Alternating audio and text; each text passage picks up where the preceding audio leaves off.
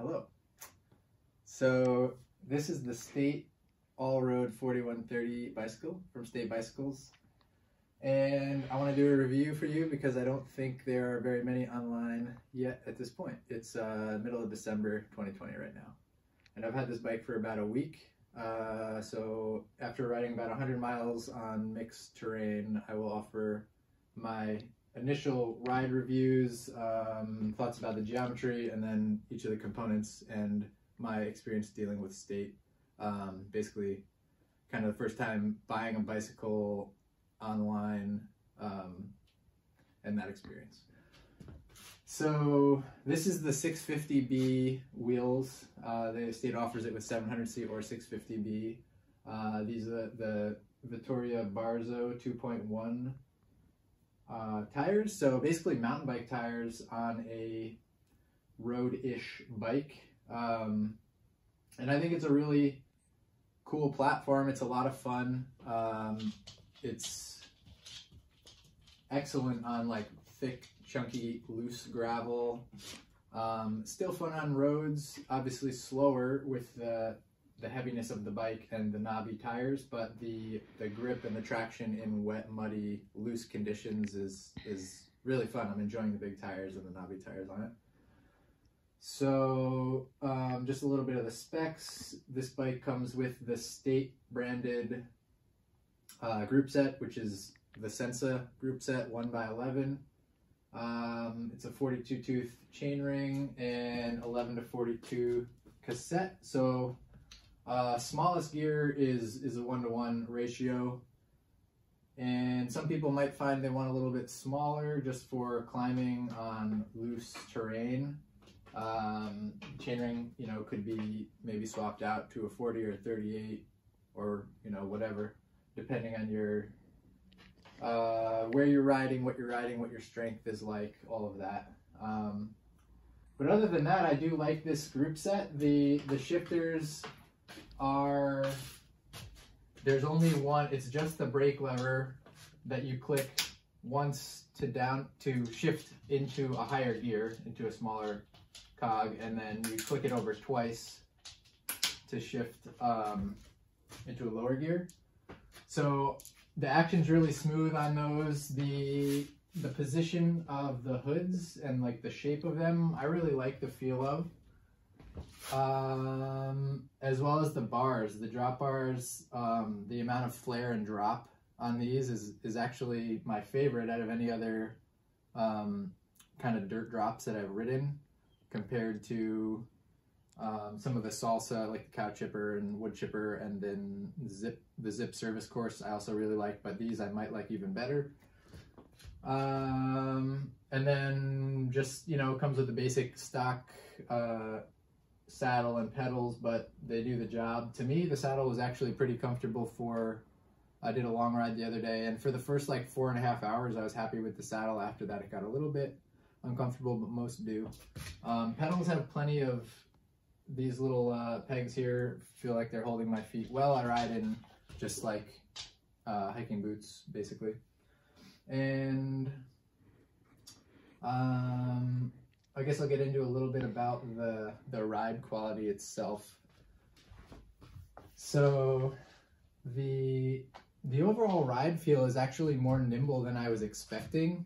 It's a heavy bike. Um, just it's, you know, it's thick overbuilt steel. It's great. It's going to last a really long time.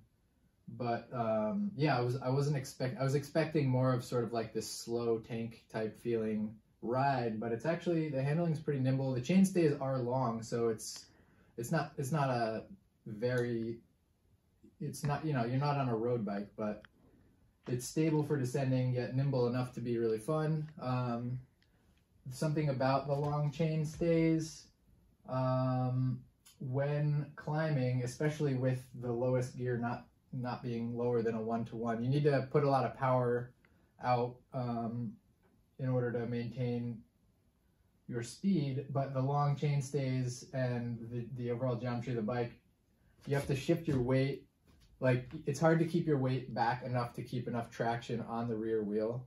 Basically, I found it oftentimes I'd be the rear wheel would be slipping a little bit um, just on loose gravel. Um, steep hills. So just something to be aware of. Um, you just got to be conscious of trying to pedal as smoothly as possible. And a smaller chainring would help with that. But yeah, just finding the right position, body position, having your weight back enough to keep traction on the rear wheel, forward enough to keep your momentum. Um, so yeah, it's not the best climbing bike, but I did feel it was very confident on the descents. Um, a lot of fun, especially again with these knobby, grippy, soft tires. Just like I never felt like at all like I was gonna wash out. So that was fun. Um, the brakes, however, are pretty, there's just kind of no modulation. They are, I forget exactly what these are, what these brakes come stock with. They're just kind of basic, cheap mechanical disc brakes. Um, they stop you, but it's kind of like all or nothing. It's just like you're on the brakes a little bit, nothing's happening really. You go a little farther and just locks up. So you just got to get used to that. I'm probably probably going to upgrade these brakes. Um, so yeah, that's that's my take on it with the 650B wheel set. It's kind of like an off off-road adventure type bike that's still fun to ride on the roads to get to where you want to go off-road. That's sort of my intended use for it. Um, I have put some of these, uh, these are the Blackburn anything cages, which I was using for a water bottle, Nalgene on this side, and then this is a uh, Roadrunner buoy bag, which I was using to keep some extra layers in since it's the middle of December and kind of got to layer up and down as as needed. And then of course the voila straps, excellent for anything.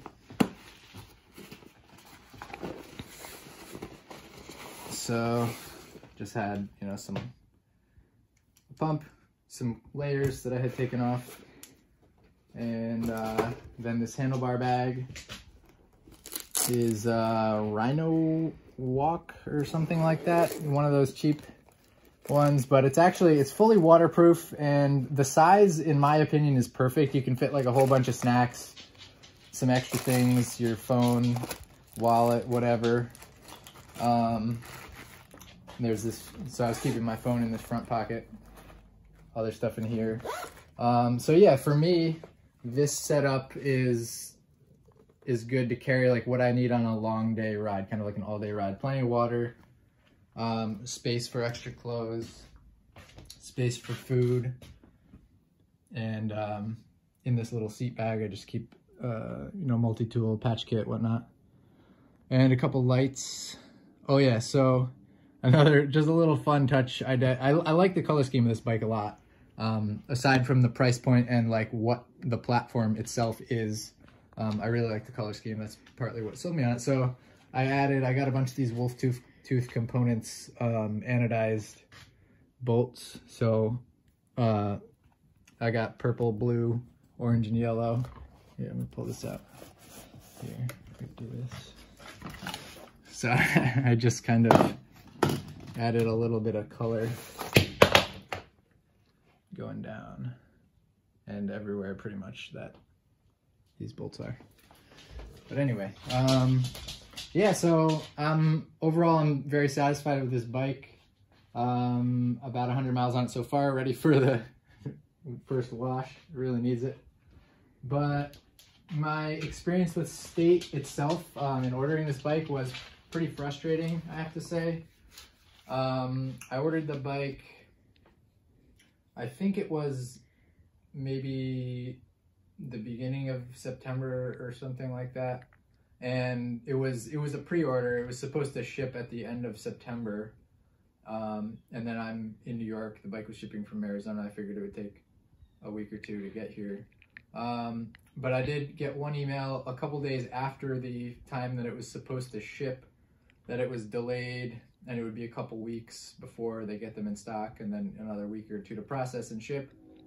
Um, that date passed. I still hadn't heard anything from state. And then I emailed them to just see what was up and say, you know, I haven't heard anything. Really looking forward to this bike.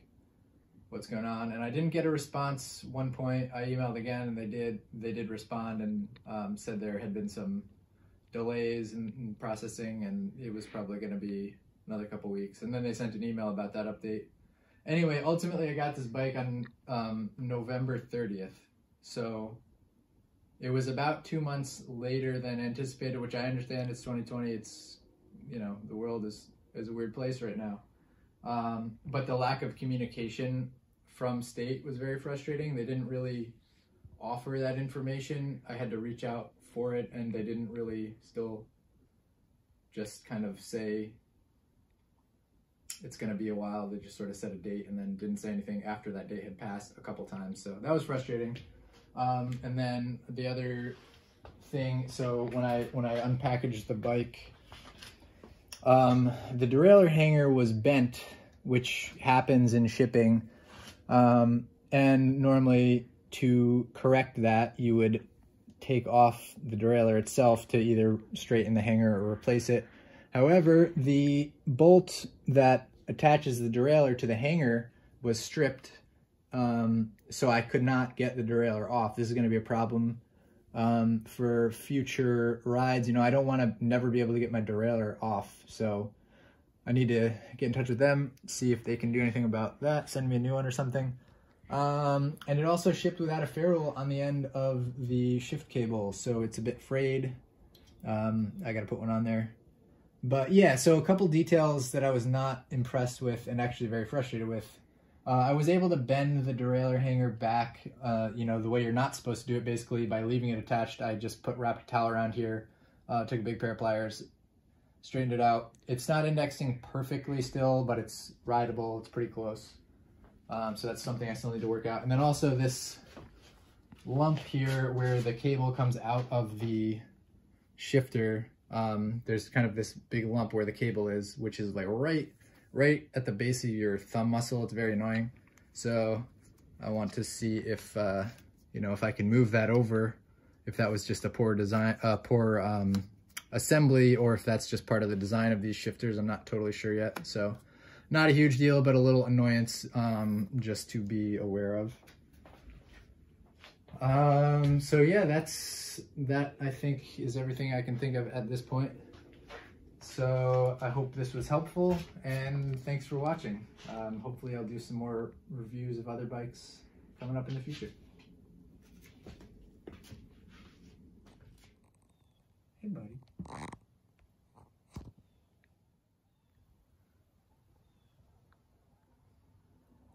Okay, so just a few last thoughts I realized I forgot to say.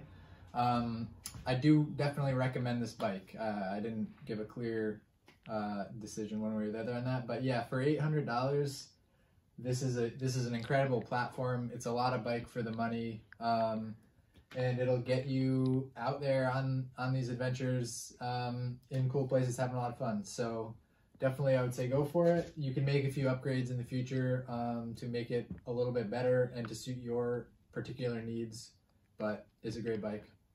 I recommend buying it. Um, I would also add that picking up both wheel sets, the 700C wheel set as well as the 650B would kind of give you two different bikes. It would give you one that's a lot, kind of like a traditional gravel bike, um, more fun on like road gravel rides, and then this wheel set, which is more of like off-road adventure type riding, um, worth the extra 350, I think, in my opinion. Um, and State also offers a payment plan where you can pay in four increments every two weeks, so that kind of makes it easier to come up with the funds, um, which is what I did, and it worked smoothly. There's no interest or anything. And also, so the wheels are through axle. Um, nice to have that modern standard. If you don't want to get the wheel set from them, you could build your own or find plenty of other higher end options. Maybe build up a dynamo wheel set, add some lights. Um, yep, that's about it. Thanks for watching.